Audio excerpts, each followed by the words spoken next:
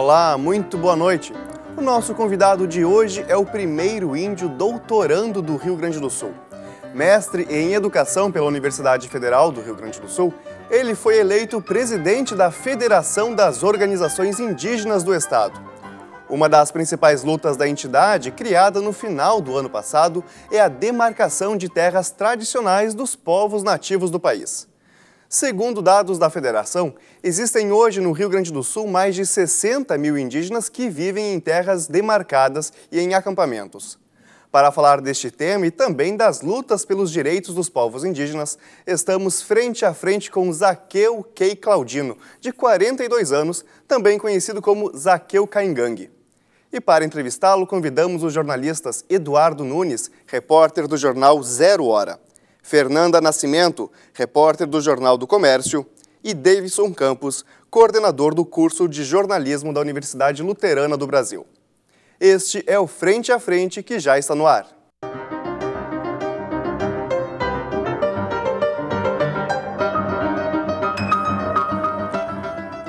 Lembramos que o Frente a Frente vai ao ar todas as quintas-feiras pela TVE e pela FM Cultura no 107,7 do seu rádio, com reprise aos domingos, às 9 da noite, somente aqui pela TVE.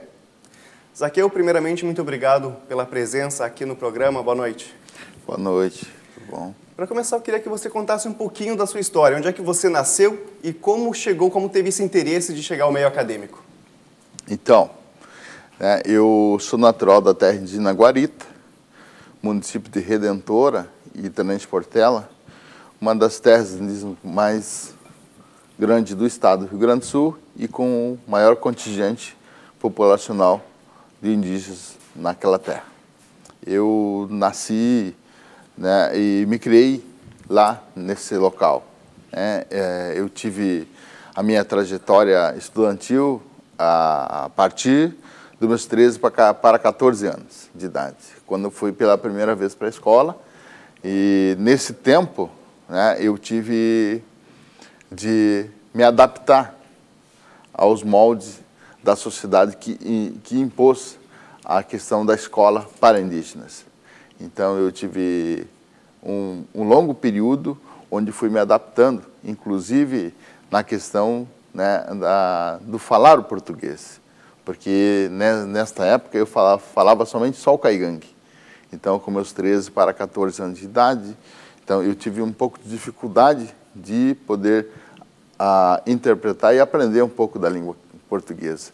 Até então, até esse exato momento, depois da academia, né, eu, tenho, eu tenho um pouco de dificuldade de responder brevemente perguntas que vêm feitas pela língua portuguesa, porque eu tenho que absorver isso né, para meu entendimento caingangue, para depois responder em português. E na comunidade, como é que na sua comunidade, como é que é? Vocês falam português? Vocês falam caingangue? Como é que é uh, o diálogo entre vocês? No dia a dia da nossa comunidade, a gente fala prioritariamente a língua caingangue, né? porque a língua é de origem nossa e, e não tem uma outra, outra forma de, de, adaptação da língua portuguesa no meio da sociedade, no seio da sociedade. Né?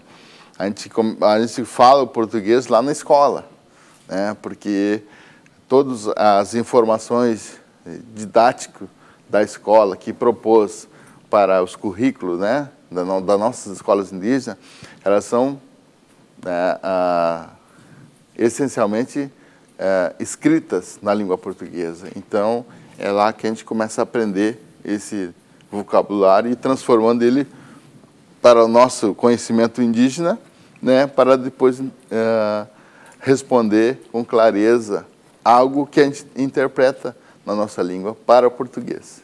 Né? É, a minha ida para a escola aconteceu lá pelos meus 13 para 14 anos de idade. E nesse, nessa época, nem eu não sabia o que estava fazendo lá, né?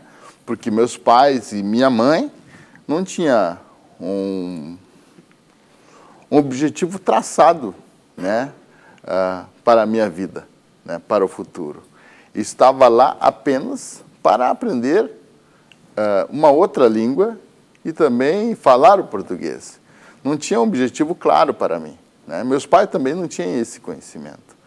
Então, aos poucos, eu fui percebendo que era necessário aprender uma outra língua para poder também transmitir algo que meus pais e meus avós não entendiam na língua portuguesa, então, para servir numa espécie de tradutor dessa língua para a minha sociedade. Bom, boa noite. É um prazer noite. conversar contigo. Uh, e essa é uma questão importante que eu estava pensando enquanto vinha aqui para o programa. Como é que tu compatibilizou ou fez para compatibilizar essa visão de mundo e as formas de conhecer o mundo Caigangue a essa instituição que é a nossa universidade? É, o Japiaçu já falava lá nos anos 80 que o papel da universidade tem sido conformar as pessoas. É, como tu mantém a tua identidade Caigang dentro dessa estrutura que busca, de alguma forma, ou como o próprio nome diz, né, formar pessoas para essa sociedade que tem referências em outro mundo, né, o mundo europeu? Então, a, a minha trajetória educacional, né, como eu estava comentando antes, é, é no sentido de que possamos entender uma outra sociedade, para podermos uh, viver né, em harmonia. Porque nós temos a nossa sociedade indígena, Caingangue, e temos uma cultura, e, e nossa, e nossa, nossa cultura, ela nos direciona para um diferencial, que é os nossos costumes e as nossas tradições. Né? Então, para que possamos viver em harmonia uma outra sociedade, que é a sociedade envolvente, teremos que também participar de, de alguma forma ou de outra né, dessas instituições para que possamos levar esses conhecimentos lá para nossas aldeias. E com isso também nós ajudarmos o nosso povo a se defender de algo que possa acontecer. Né? Então, a minha vinda para a academia e também antes disso, a minha, minha vinda para a minha trajetória educacional aconteceu lá na década de 80, né? aí na década de 90, né? onde é, as lideranças, né? os meus tios, meus avós, os anciões, né? A, apostaram né? em mim que eu poderia ser uma espécie de, de representação legítima do meu povo. Né? Então, foi, foi feita uma aposta em mim, então, onde eu tive o, o prazer e o desprazer né, de estar numa escola de, da sociedade envolvente né, no município perto da minha aldeia, onde eu caminhava entre 12 quilômetros para ir e 12 quilômetros para voltar. Isso fazia todo dia a pé, e quando chovia, né, era o maior caos para mim, né? Porque eu teria que, mesmo assim, enfrentar. Porque tinha um objetivo, porque os velhos, os caciques, as lideranças, os anciões, tinham uma aposta feita em mim. Porque eu poderia ser o interlocutor. Então, isso foi um caminho que eu fui desbravando, né? Aos poucos, fui conseguindo chegar lá. Aí, chegando lá, terminando o ensino médio, tem outro desafio, que é o, é o mundo acadêmico onde eu teria que enfrentar também o concurso vestibular, porque na época não tinha cota específica para as sociedades indígenas. Então eu teria que concorrer com os demais da sociedade envolvente, né? mostrar meu potencial, que também o índio teria condições de também passar no concurso vestibular.